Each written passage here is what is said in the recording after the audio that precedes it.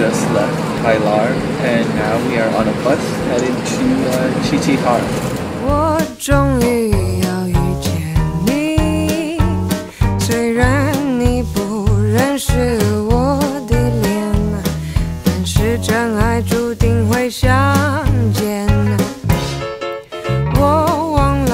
our first meal in Qiqihar with uh, 狮子头, which is lion head. It's a signature Shanghainese dish and uh, wild mushrooms. We're at the train station right now buying our tickets for our train back to Harbin tomorrow.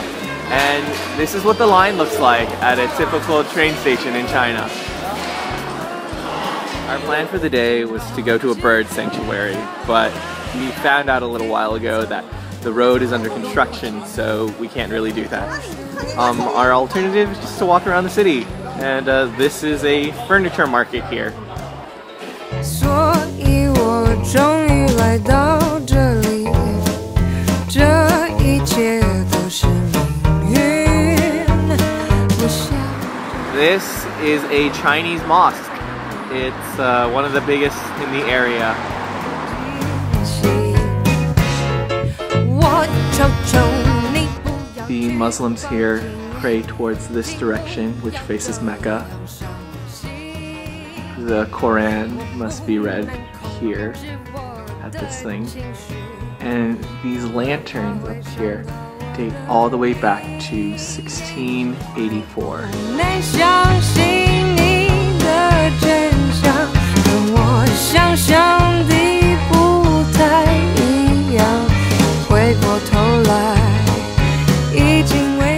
around at this uh, outdoor market here.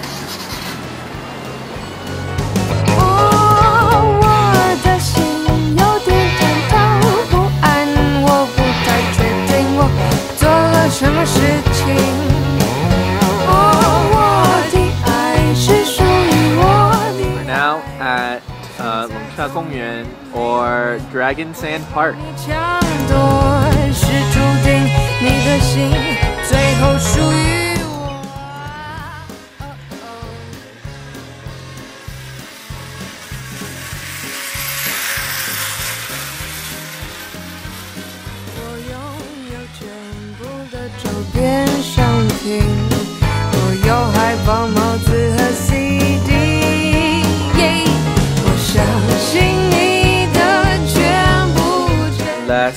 Here in Qiqihar with uh, lamb noodles.